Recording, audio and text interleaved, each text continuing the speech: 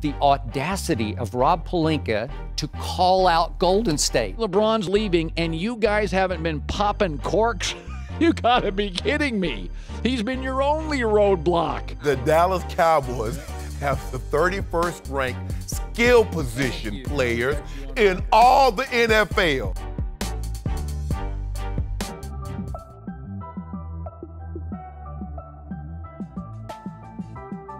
The audacity of Rob Pelinka to call out Golden State. I just fell out of my chair last How night. did he call them out? Well, he's saying this is our. We're, we're going to take you down. That's how it's going to come, come across to the Golden State Warriors. No, it's not. Who needed some bulletin board material this offseason to motivate them to win yet another championship after they added DeMarcus Cousins. So they now have five All Stars and new motivation because you know and I know that Steph Curry will bring up these quotes all next year. We've seen someone beat them a game, but in order to take them down once playoffs come along, you have to beat them four times over two weeks hmm. with arguably the second and the fifth best players in the NBA in their prime.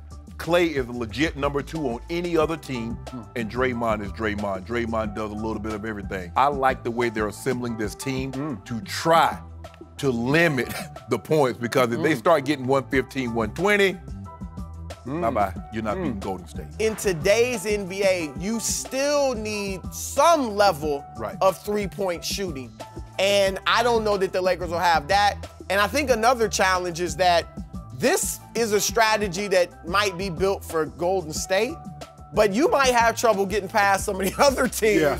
if you don't have the shooting or the style to beat them. Now, look, I think it's a good plan. Will it work against Golden State? No. If I'm building a team, what I really want is athletic wings who can score.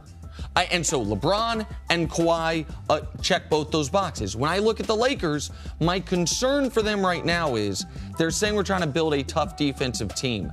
I don't know how good defensively Rajon Rondo is. I know Kentavious Caldwell Pope's not great defensively. There's a difference between being young or long and athletic and being a great defensive player. You're not going to be able to get enough enough young athletic shooters because that's what the problem is. If you try to put shooters on the court, right now the shooters in the NBA, they're typically older guys, can only play 20 to 25 minutes and when they go down to the other part of the court, they are a liability. And we forget or we don't talk about it enough. We can't forget Golden State. They're an outstanding defensive team.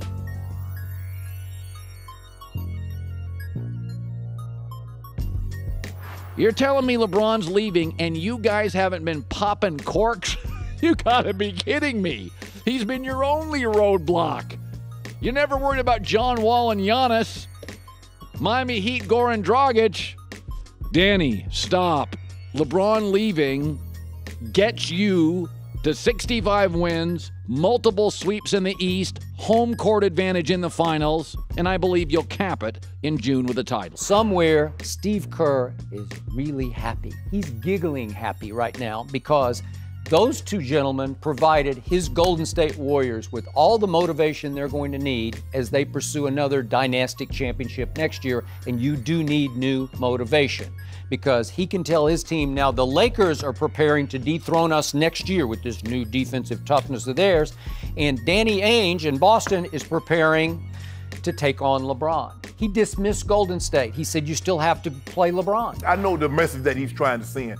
We're not going to overlook anybody. Anybody can beat us. But Danny Ainge's like, we going. They can't nobody beat us. We're too talented. Because think about it. They had a chance to trade for Kawhi.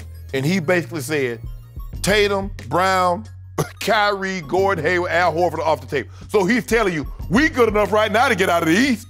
I don't need to add Kawhi. I don't need to give up no pieces. I'm good enough right now to get out of the East. What Danny Ainge is saying, look, whether LeBron was in the East or not, our goals remain the same. Get to the NBA Finals and win a championship. And our confidence, our belief remains the same. That is the mentality that enabled them to take LeBron to seven games without their two best players, with a 19 and 20 year old leading the way. So I love that from Danny Ainge. We talk about how LeBron has just had the Raptors number, right? Since in the last eight years, he's beat them, knocked them out of the playoffs three times. He's knocked Danny Ainge's teams out of the playoffs five times. It's LeBron and his run in the Heat that made Danny Ainge decide to Yeah. tear it all down. He had to. He Yes. had to. Like it is, LeBron has been. There's no team that LeBron has knocked out in the playoffs more in these last eight years than the Boston Celtics.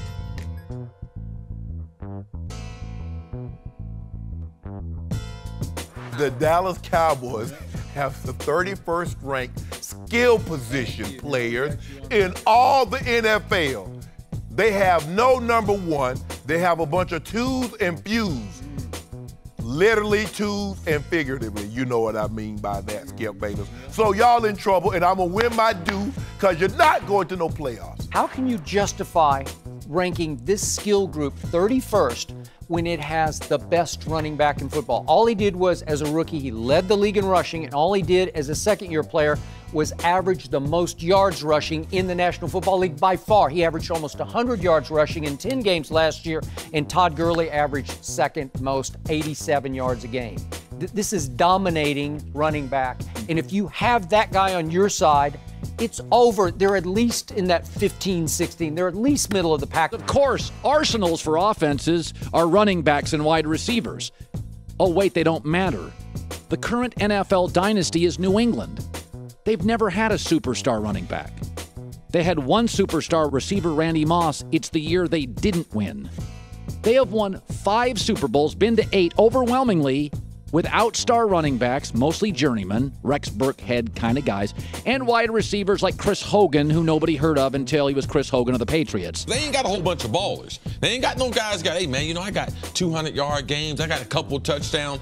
No. Allen Hurns, I got 1,000 yard season, and he had that a couple years ago. He's coming off a knee injury in Jacksonville where they gave up on him. I believe he's their best receiver. If you are going to get to high levels in the playoffs with weapons like this, it's usually because you have an elite defense. We're talking about the Cowboys having a pretty good defense if it works out.